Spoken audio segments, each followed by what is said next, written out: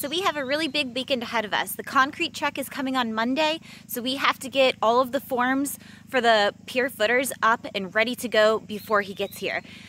There's quite a bit of work to get done ahead of us. So basically how this is gonna go is we need to get everything marked and squared for where the footers are gonna go. We need to get all of the rebar cut, the holes drilled, the sonotube cut, all of the rebar pounded into the ground, sonotube put on top, and then the supports to go around the sonotube put up. It sounds pretty easy when I just lay it out like that, but it's actually going to be quite a bit of work. So we need to get started. We've got to get all of this done no matter how long it takes, or else we're not going to be ready when the concrete truck comes on Monday. But before we can get going, we've got to head down to the barn, get all of our material, all of our tools. We're gonna bring everything up here to the house site, plug into the generator, and just do all of our prefab work up here. We're gonna have three rows of nine footers. Each of the footers is going to be 18 inches wide, and it's going to go four feet down. The two outer rows of the footers, we're gonna have the concrete truck pour the entire form. For the center row, the concrete truck is only going to pour the bottom four feet up to ground level. Once everything cures, Josh and I are going to come back in and we are going to mix and pour the top center row of footers. The reason that we're doing it this way is so that the truck can fit all the way through and get the majority of the forms. We wouldn't be able to work it for him to get through and also pour the center row for the top two feet, so we're just going to go ahead and take care of that. We chose to have a concrete truck come out here and do the work for us because once we ran the numbers and did the math, it actually turned out to be less expensive to have a concrete truck come out here deliver and pour all of the concrete rather than for us to mix it and do it ourselves. This is a really big step for us because after we've got these in and everything has cured, we're gonna be able to get started on the actual build. Never fear, my friends. You will no longer have to wonder which one of us has the better driving record.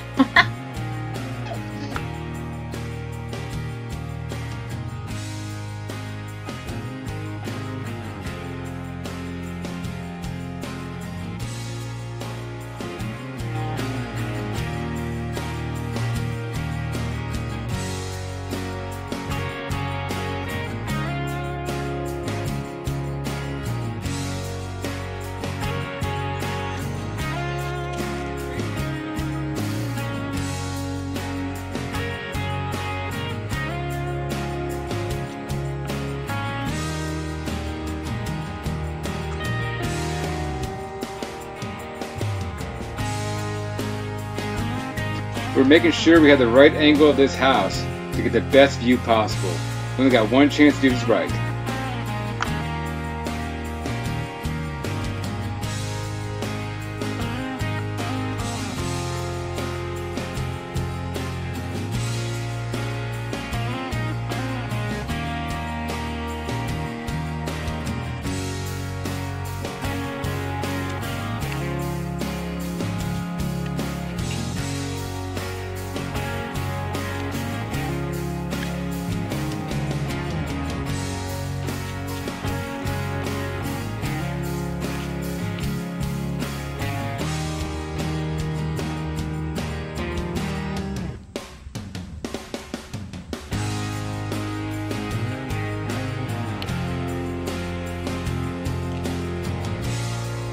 Determine how the angle of the roof is going to affect the view of the mountain range and whether or not we need to tweak where we have it or not. The best idea is to go ahead and take that A, stand it up, and get a quick look through it.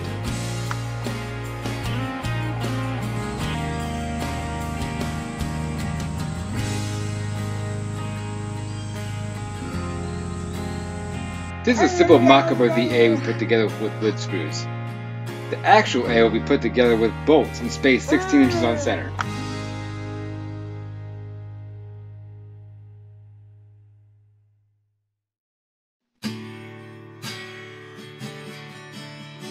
We are both going to take turns studying the A while the other one steps back to make sure that the view is ideal for what will eventually be our living room.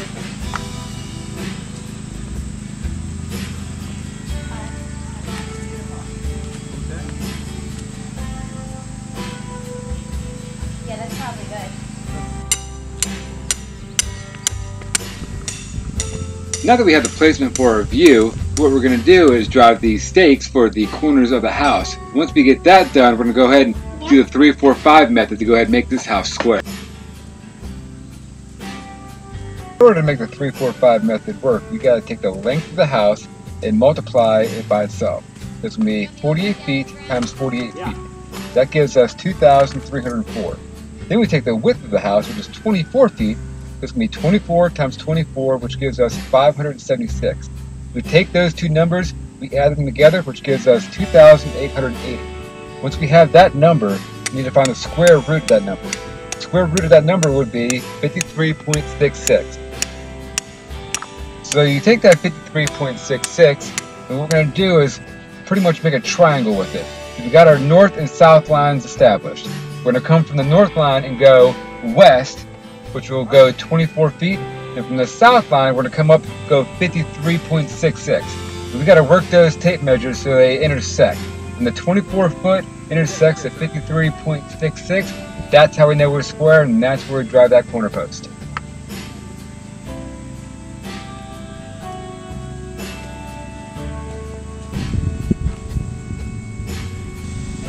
Okay? Yeah. Okay, Carter? Right here. That's right, that's it. All right, ready, go.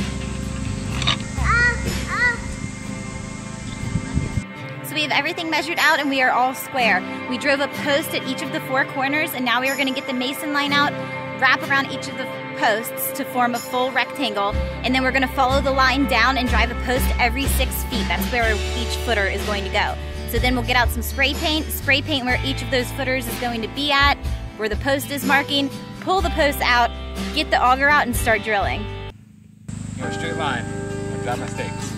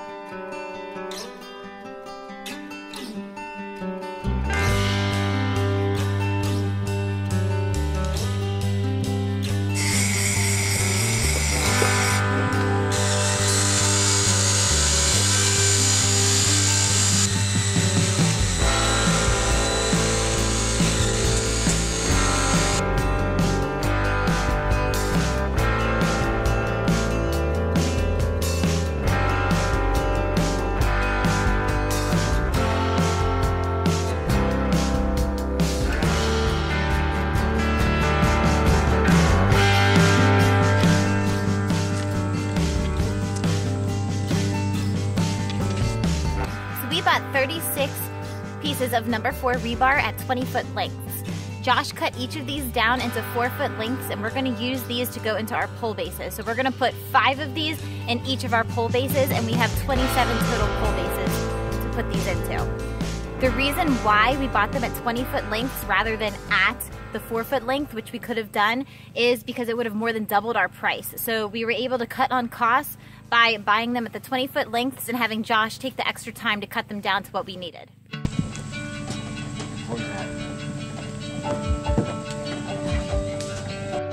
Now it's time to measure and cut so that we can build the forms for our sonotube.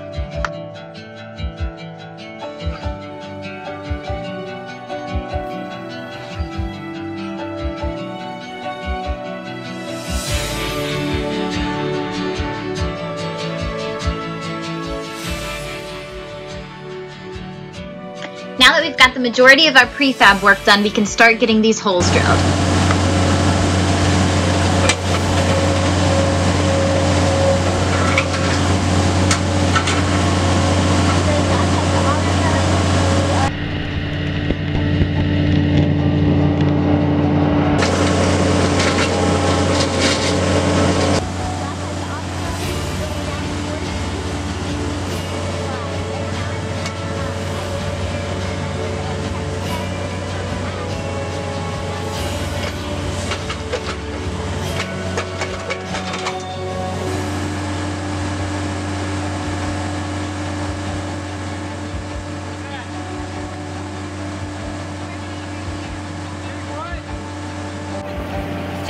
Auger going. He's going down four feet and 18 inches wide. Every now and then, um, I go over there just to measure and check for depth to see where we're at.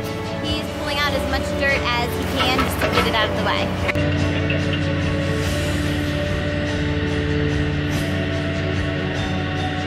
So we're basically on repeat here, guys. We've got 27 of these holes to get drilled, and then we can move on.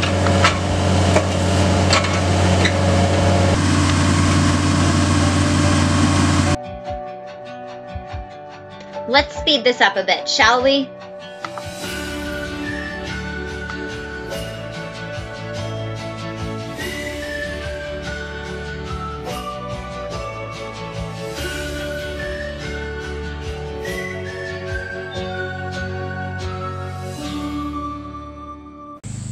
So the basic idea is, once we get all four of these corners up, we're gonna go ahead and get the anchor bolts put in.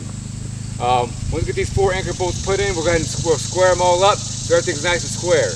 Once we get it all squared up, what we'll do is pull a jet line from this base down to that base. What that will signify is the straight line for the anchor bolts. Also, going to give us a height of each and every one of these bases right here. Um, once we get this row done, we'll come back on that side, do the same exact thing. We get ready to pour concrete on Monday. This is a survey laser. We're using this to establish the height of the footers. To be as efficient as possible, we're going to lay out all the forms and rebar next to each of the holes. Some of the rebar is going to get tied together for the deeper holes, and the shorter pieces of rebar are going to go in as the concrete is poured.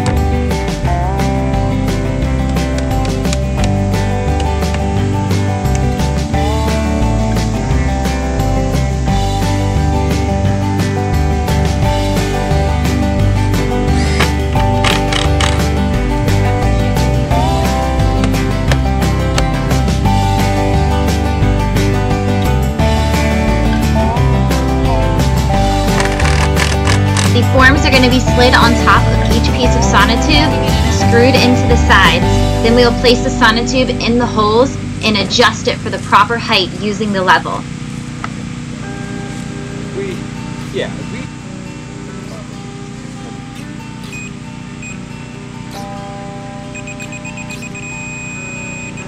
Once we hear the solid beep, we know we're at the right height.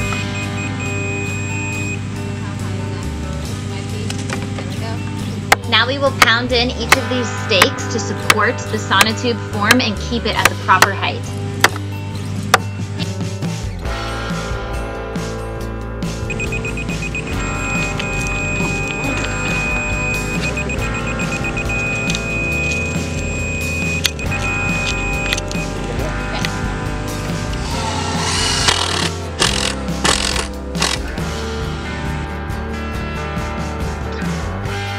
Aaron works to level out each side, I screw in the forms.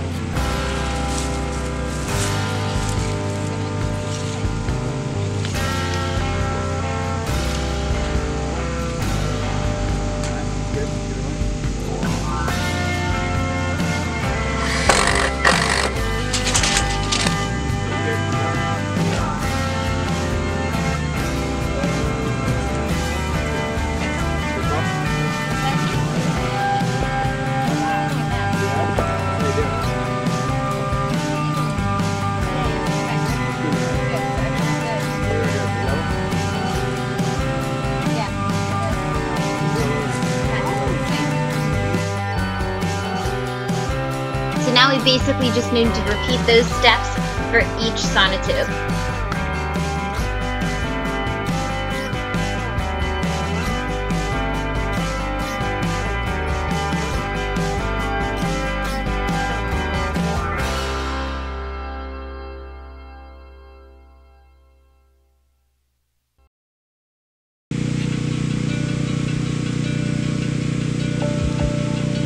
It's looking good so far. We are on to day three now. More sonotube needs to be cut.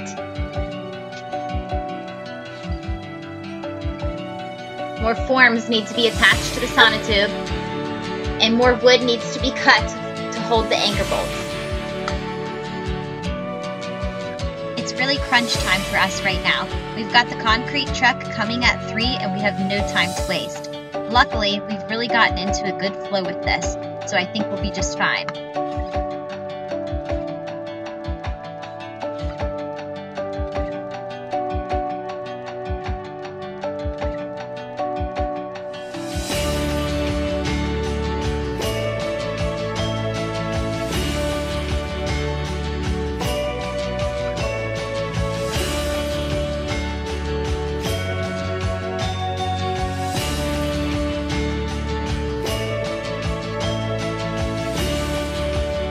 Josh is getting the rebar in the last few of these forms and I'm laying out the wood for the anchor bolts so that Josh can start drilling and I can start attaching the anchor bolts.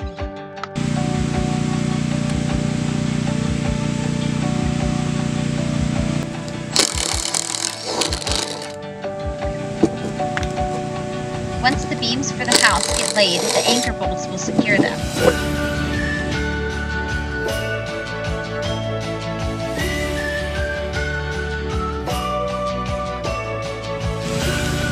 So this is it. We are all set up and ready to go. Our concrete forms are poured, everything's supported.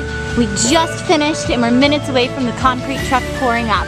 So we have one, two, three rows of 18 inch wide concrete footers that are going to be going in.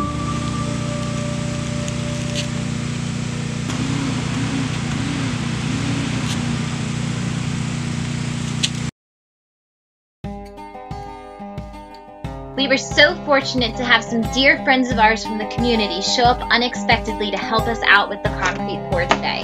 Charlie and Josh worked so well together and had a great vibe going on, so I just stepped back and let them do their work.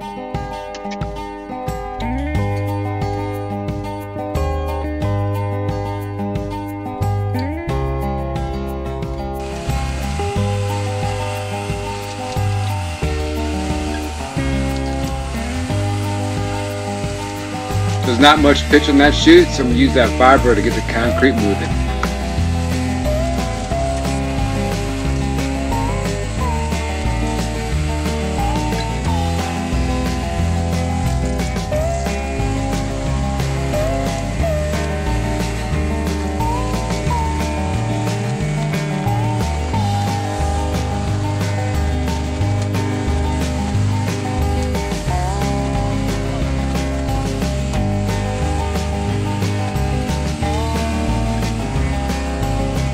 Using the vibrator to get the air pockets out of the concrete so when I tear the forms down, it's a nice finished product.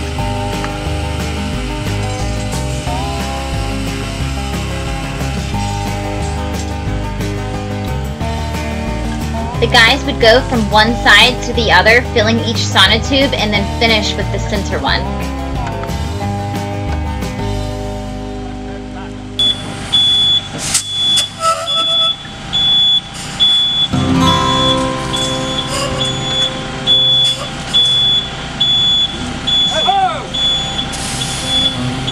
Once again, on repeat, fill each of the 27 sonotubes.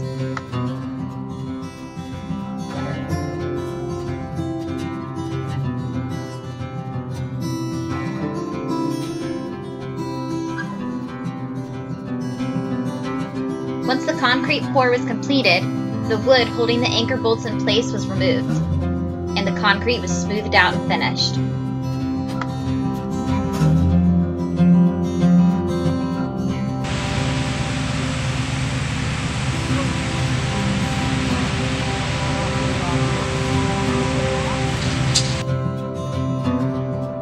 Concrete has cured and now it's time to get these forms off.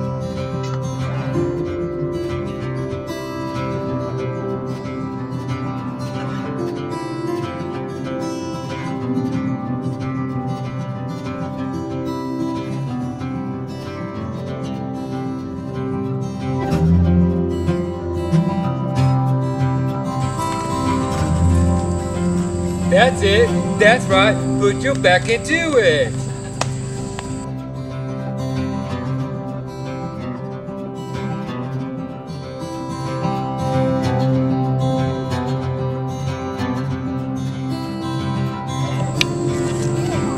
Okay, so what we got going on here?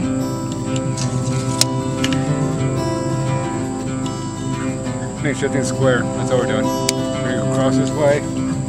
Measuring at 53.6. You got that right there. It means this whole thing's gonna be square. So, that's all.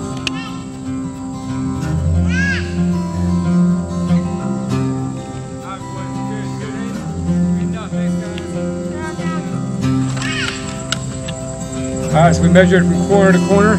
We're within a quarter inch on both sides, so it was 53.6 feet. Within a quarter inch, that's good enough to be in square.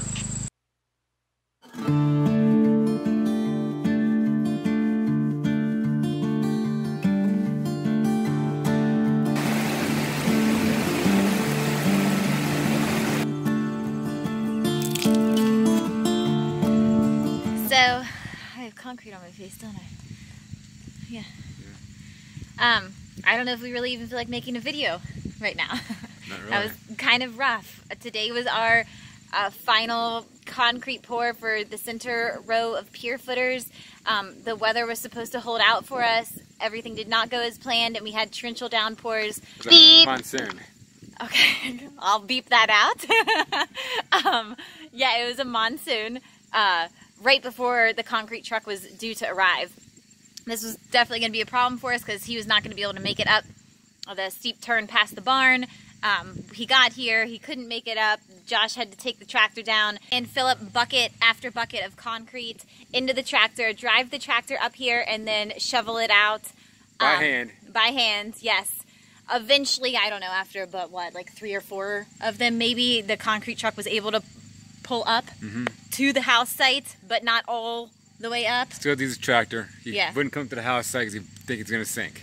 Yeah. So Yeah, and then when once we got down to the very last one, of course the skies opened up again. This time we had like lightning bolts coming down, Mm-hmm. pouring. Not sure whether or not the final pier footer is. a lot of water. It should be fine. There's a lot of water got into it. We'll see how it looks when I tear it down tomorrow. Yeah, so that's it. Yep. we're we're done for now. If you like our videos, be sure to subscribe, give us a thumbs up. If you have any questions or comments, you can put them down below. Thanks, guys.